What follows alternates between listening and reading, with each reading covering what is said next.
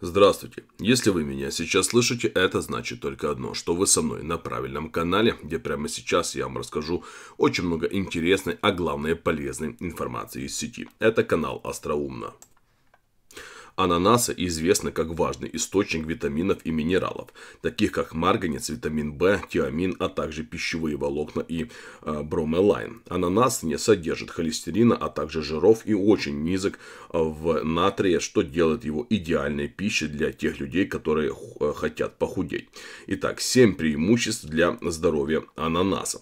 А, фертильность помогает как мужчина, так и женщина благодаря содержанию витаминов и минералов, таких как бета-каротин, медь, цинк, фолиевая кислота и даже витамин С. А, предотвращение катаракты содержит большое количество витамина С, который защищает зрение и уменьшает риск э, страдания от катаракты. Предотвращение астеротрита. Ананас предотвращает остеоартрит за счет его э, противовоспалительных свойств.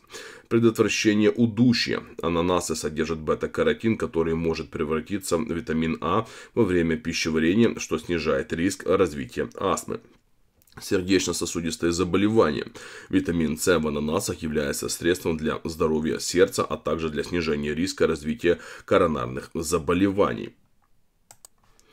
Противовоспалительные свойства. Ананасы обладают противовоспалительными свойствами, которые способны вылечить э, спортивные травмы и даже успокоить боль. Итак, ананасовый сок. Ингредиенты. Один ананас, 1 литр фильтрованной воды, э, э, сахарозаменитель. Приготовление.